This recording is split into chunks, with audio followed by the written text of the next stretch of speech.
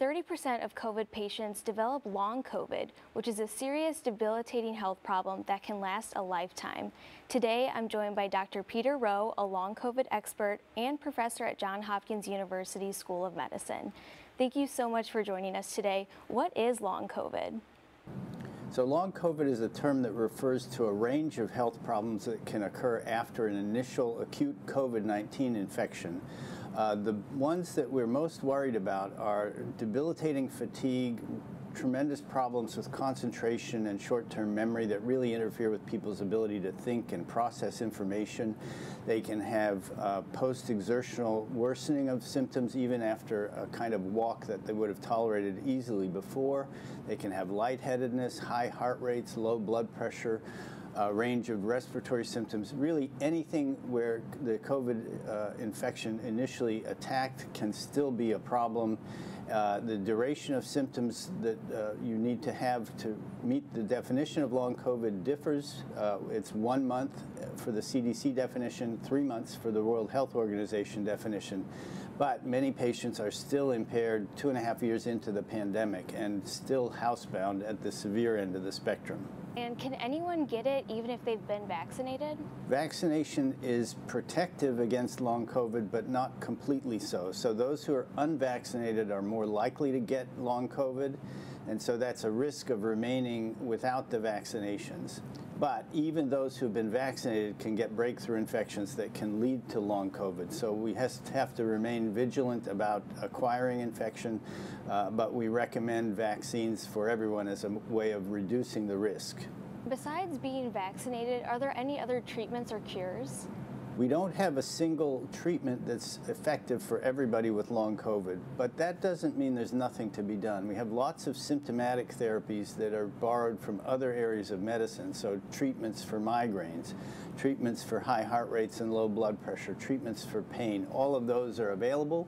One of the big challenges, though, is that there aren't that many places that uh, provide long COVID care uh, yet, and that's an area of pressing clinical needs throughout the country. And is this chronic aftermath of the COVID-19 virus a new phenomenon?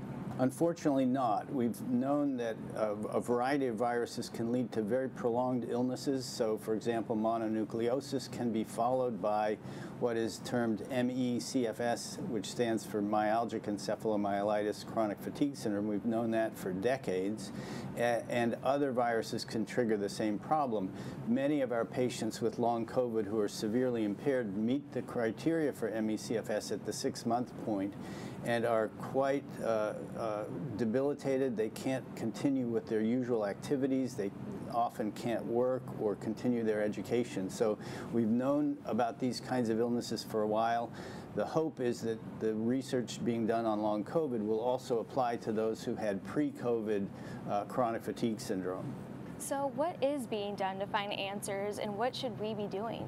Well, I think uh, all the countries around the world that have been hammered by COVID are spending a lot of time looking into uh, research that might help us understand how better to treat it, uh, why it occurs, who's at greatest risk for these long-term problems.